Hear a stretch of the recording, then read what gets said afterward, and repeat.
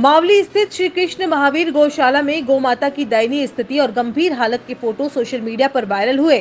तो आज नाथद्वारा स्थित करधर गौ सेवा संस्थान के संचालक पंकज पालीवाल के साथ यश जोशी, राजू पुरबिया चांदमल सोनी अपनी टीम के साथ मौके पर पहुँचे और गौशाला का निरीक्षण किया।